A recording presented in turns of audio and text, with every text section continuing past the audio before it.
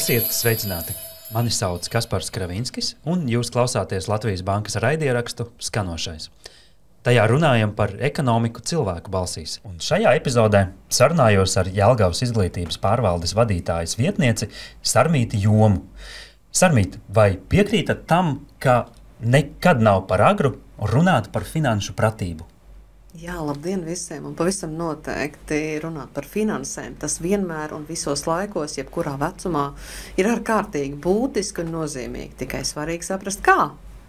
Uh, un te jautājums par uh, šo jauno uh, mācību līdzekli, metodisko līdzekli pirmsskolā, pašiem mazākajiem.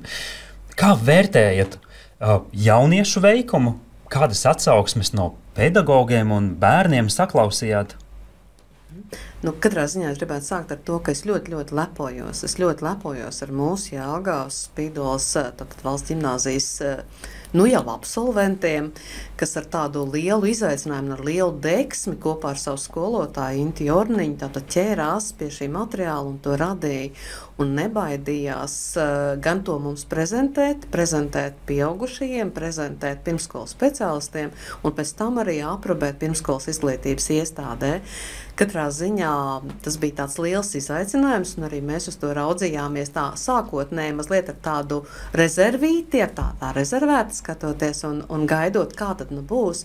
Bet kopumā, manuprāt, tas bija brīnišķīgs pasākums vairāku nodarbību garumā, kuru ar lielu interesi gaidīja mūsu mazie gaismīs bērni, kuri, pie kuriem tātad spīdolieši vadīja šīs nodarbības, kas ļoti patika gan pašiem skolotājiem, patika bērniem un raisīja interesi arī vecākiem.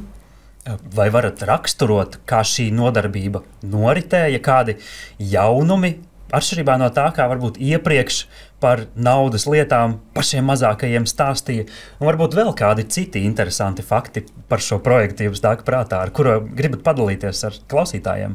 Mhm, tātad aprobācijas procesa laikā e, jaunieši pie mums nāca reizi nedēļā, lai novadītu vienu kārtīgu nodarbību. Viņi parasti nāca trijotā, četrtā, piecatā, kā nu kuro reizi, savstarpēji sadalot šo atbildību, kurš tad bija galvenais skolotājs, kurš uh, lika prezentāciju, kurš strādāja ar izdevuma materiāliem, kurš organizēja kustību aktivitātes. Viņi ārkārtīgi rūpīgi gatavojās, un tas bija tik ļoti sirsnīgi un tik ļoti patiesi ja raugāmies tā no jauniešu puses, viņi, protams, bija ļoti uztraukšies, un viņiem bija ļoti svarīgi saņemt arī mūsu profesionālu pedagoģu atbalstu un, un sapratni un arī padomus, kā tikt ar to visu galā. Bet uh, bērni ļoti gaidīja šīs trešdienas, kad mums bija šīs naudas nodarbības. Viņi tā arī sauca naudas nodarbības un, un ar tādu lielu interesi devās, lai visi kopā mācītos, ko tad viņiem mācīja šie jaunie skolotāji. Jo arī šī pieredze, kāda nodarbība vada, nevis viņu zināmā, pazīstamā grupas skolotāja, bet eh, jaunieši, skolnieki. Nu, tā bija jauna pieredze bērniem, un tas ļoti patika. Ja runājam par šo tematisko piedāvājumu, tad tieši šis svarīgais nosaukums - nauda, um, finanses, finanšu prata kārtība, deficīts, budžets. Um, pārpalikums, ja? visi šie svarīgie termini, kas faktiski finanšu pratībā ir tādi ļoti sarežģītas un ļoti nopietnas lietas, ārkārtīgi cilvēciskā bērniem ļoti pieņemamā veidā tiek izspēlēti, izrunāti un iepazīti kā nu, tādi ikdienas um, valodas vienības, ja, kas skan un no kā nav jābaidās, par ko ir jādomā un ar ko ir jāprot rīkoties. Varbūt varat pastāstīt, kā šī nodarbība notiek, ko uh, no tās uh, iegūst uh, mazie ķipari. Mm -hmm. Nu, mūsu nodarbības notika trešdienās, un patiesībā sakot, bērni ļoti, ļoti gaidīja šīs trešdienas. Jo trešdienās, pēcpusdienas cēlienā, tad, kad skolnieki bija brīvi no savām skolas gaitām, tad viņi nāca uz mūsu bērnu dārzu, nāca uz mūsu mazo gaismiņu, kur sešgadnieki tad, tad, viņas ļoti, ļoti gaidīja. Viņi satikās zālē, un tā kā īstā nodarbībā, tā kā profesionāla vadītā nodarbībā, um, jaunieši stāstīja par to, ko tad mēs šodien darīsim, par ko mēs runāsim. Bija viņi sagatavojuši video materiālus, un mēs uh, skatījāmies interaktīvajā tāfelē un darbojāmies ar šiem uh, interaktīvajiem uzdevumiem. Bija jautājumi un atbildes, bija stāstīšana un klausīšanās.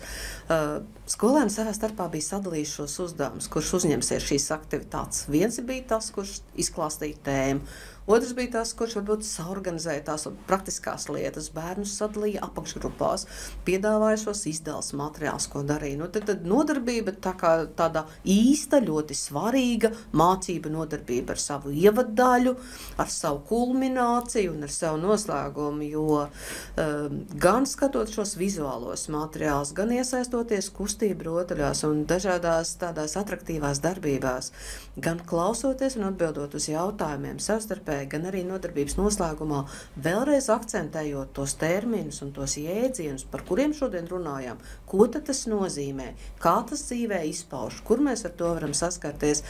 Tas bija tāds vesels tāds nodarbību cikls, tāds, kad uh, katrs bija kā tāds atsevišķs tematiskais vienojums, kas viss kopā veidoja šo, šo finanšu pratību un šo izpratni par to, kas tad ir nauda, kā pie tās var tikt, kā ar to var darboties, ko ar to var darīt.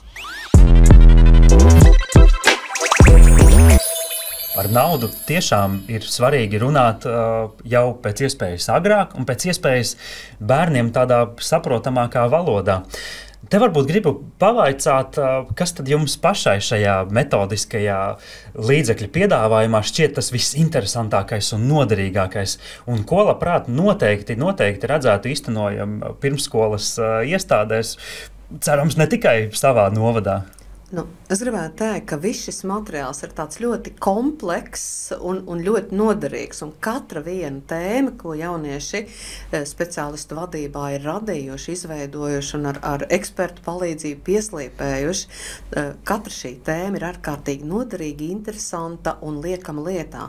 Bet vēl es gribētu teikt, ka es uz šo metodisko materiālu raugos kā uz tādu ideju krātuvīti, kur īstenībā atverot vienu lapu skolotājiem raisās domas, ko un kā kā var darīt vēl vairāk un padziļinātāk. Tā kā um, šis vajadzību un iespēju analīzes jā, temats, šis uh, naudas pelnīšanas deficīta lietas.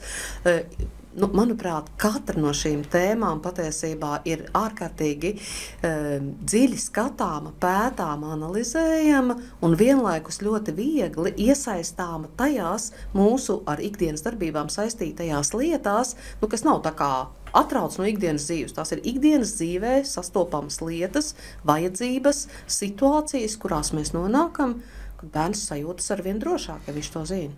Dažas no šīm tēmām jūs jau pieminējāt. Kas tad ir tas, ko no naudas lietām pirmsskolas bērniem var un vajadzētu iemācīt? Nu, es gribētu teikt, ka patiesībā šis jautājums par vērtībām, kas īpaši arī šobrīd ir kļuvis aktuālāks, šis jautājums par to, kā um, cilvēks ir vērtība, darbs ir vērtība. Cieņa ir vērtība, uh, un visās šajās manipulācijās, darbībās ar finansēm, gan domājot par plānošanu, par savas darbības organizēšanu, par, eh, par savu tēriņu plānošanu, par iepirkšanās organizēšanu, kas viss ir savstarpēji saistīts tieši ar šīm iepriekš minētajām lietām, ar savstarpēju cieņu, spēju komunicēt, spēju sarunāties, spēju domāt, analizēt, atbildīgi rīkoties. Manuprāt, tas ir tas kopējais, kas vieno visas šīs tēmas. Pirmsskolā bērniņš pavada vienu zināmu daļu dienas. Sakiet, kā vecāki varētu būt iesaistīti šo jautājumu apguvē, un, un, un kā šī apguve varbūt ir saistīta ar citām ikdienas dzīvē svarīgām prasmēm un attieksmēm. Nu, kā jau minēju, patiesībā Uh, tas nav stāsts tikai par naudu, tas ir stāsts par prasmēm, kas mums ir vajadzīgas ikdienas komunikācijā. Tas ir stāsts par attieksmi vienam pret otru, tas ir stāsts par sadarbību, un tas ir stāsts par savstarpēju sapratni un spēju komunicēt. Ja runājam par vecāku iesaisti, protams, ļoti būtiski šobrīd šo savu vajadzību un iespēju analīzi, un, un bērni nereti piedalās ģimenes budžeta plānošanā, pirkuma izvēlē, pirkuma sarakstu sarakst, eh, sastādīšanā. Un tad šī savu iespēju plānošanu, savu vajadzību analizēšanu un plānošanu. Tas ir tās lietas, kur mēs varam, varam visi kopā sēdēt mājās pie viena galda, domāt, plānot un tad pieņemt atbildīgus lēmumus un uzņemties atbildību par to, ko mēs tad esam par ko mēs esam vienojušies.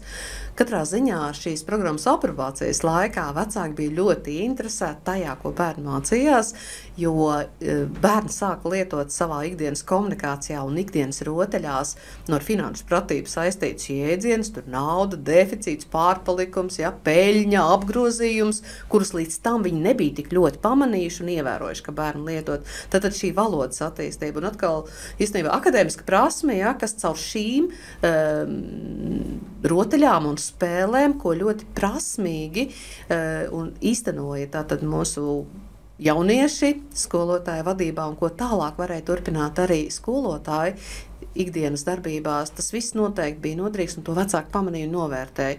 Un, ja kādam arī gribējās kādā reizē paņemt brīvdienu, tad tā noteikti nebija tā diena, kad bija šī naudas nodarbība. Jo, jo bērniem ļoti gribējās. Viņi tiešām prasījās vecākiem, lai tajā dienā būtu bērnu dārzā un arī interesi piedalījās nodarbībās. Šķiet, ka arī bērni no bērnu dārza atnesot ja, šīs uh, tēmas, jautājumus, jēdzienus, un uh, mājās jau tāpat dzirdam, kāpēc tas, kas, ir, uh, kas, kas tas ir, kāpēc tas tā ir un tam līdzīgi. Respektīvi, šķiet, ka šie pirmsskolas bērni mājās uzvedina arī vecākus bieži domāt par šiem finanšu pratības pamatjautājumiem, par uh, vēlmēm un vajadzībām, iespējām, uh, riskiem un tam līdzīgām lietām. Pavisam noteikti var jums piekrist, un, un, un reālā praksa un piemēra to arī apliecināja, jo bērni aktīvi iesaistījās šajās pirkuma plānošanas lietās un sarunās par to, ka uh, nauda vispirms ir jānopelna, lai mums būtu ko tērēt. Ja? Un, tas nav bankomāts, nav tā brīnuma mašīnīte, kur tikai birst ārā. Ir svarīgi visas tās lietas, kas ir jādara, kas ir, eh, lai tur tā nauda būtu un vecāks varētu dabūt to naudu. Un tas, par ko mums vecāki arī pēc tam stāstīja, ka ka kļuva vieglāk eh, bērnam pamatot, kāpēc mēs to vai citu lietu konkrētajā situācijā vai nu izvēlēsimies vai neizvēlēsimies. Arī vecākiem bija vieglāk komunicēt ar bērniem, un viņi atzina, ka par tādām ārkārtīgi svarīgām un nopietnām lietām viņi sāka runāt ar bērniem, par ko iepriekš nebija domājuši, ka varētu runāt ar bērniem. Jāsaka, es nevaru sagaidīt tieši tāpat nākamo trešdienu, nākamo nodarbību. Ļoti intriģējoši. Bet uh, kas tad varbūt ir jā, tādi tiešām interesantākie, dzīvākie piemēri no jūsu un kolēģu pieredzes, nu, kas varbūt raksturot jā, tās nu, citas vēl aktivitātes šeit naudas prasmju apguvē?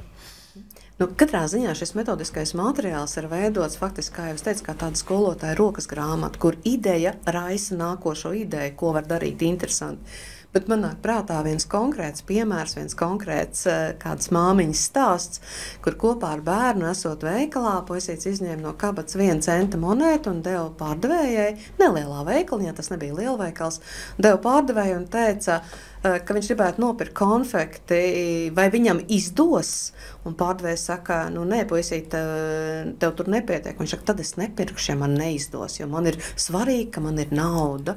Un liekas tāds, nu, tāds tā amizants piemērs, bērnišķīgs, bet tāpat laikā tas parāda to, ka bērns arī ikdienas komunikācijā un tādā it kā ar mācībām tiešā veidā nesaistītā situācijā nodemonstrē tās prasmes, tās zināšanas, par kurām bērnu dārzā ir runāts, ko viņš ir mācījies, ko viņš ir apguvis.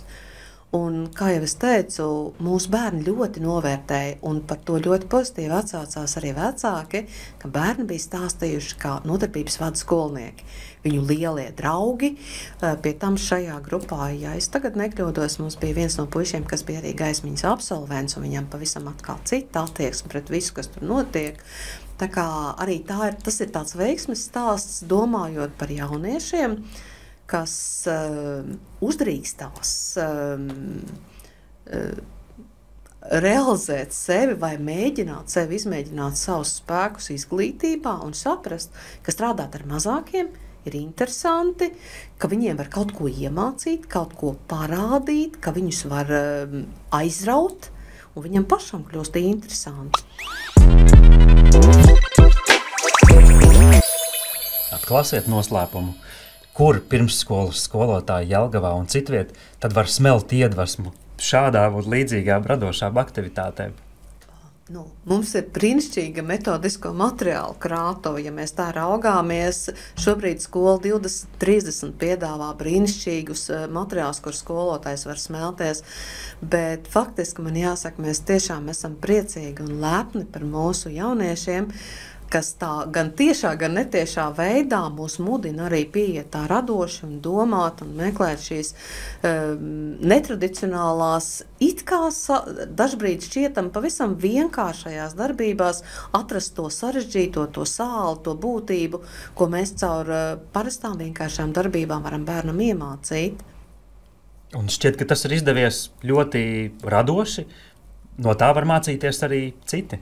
Pavisam noteikti, pavisam noteikti. Vēl jau vairāk, ja mēs runājam par to, ko mēs kopā ar bērniem darām, mēs nevienmēr eh, nu, saredzam vai saskatām to mācīšanos apakšā, to konkrēto prasmu vai to konkrēto zināšanu vai to konkrēto attieksmi, ko veidojam. Reizēm tas notiek pavisam neapzināti, bet tajā pat laikā nu, tas profesionālais pedagogs, profesionāls ir tas, kurš var iedot to vajadzīgo skaidrojumu, pamatojumu, ko caur šo mēs mācāmies. Un faktiski arī saredzēt, kā caur šķietami ļoti, ļoti vienkāršām lietām mēs faktiski būvējam tādus stabilus pamatus zināšanām mūsu šobrīd pirmskolniekiem, bet pēc kāda laika varbūt arī finanšu ekspertiem, finanšu mm, speciālistiem un magnātiem. Ceram, ka nākamā paudze būs naudas prasmēs uh, gudrāki, zinošāki un spējīgāki nekā mēs. Tāpēc jau, tāpēc jau šādas lietas arī attīstām. Bet ar cerību vien būs par maz. Mums noteikti ir arī jārīkojas. Mums ir kopā ar bērniem šīs lietas jāpēta, jāanalizē, jāsarunājas, jāizspēlē, jāizdzīvo, un tad pavisam noteikti tā arī būs. Lielas paldies par sarunu! Paldies jums!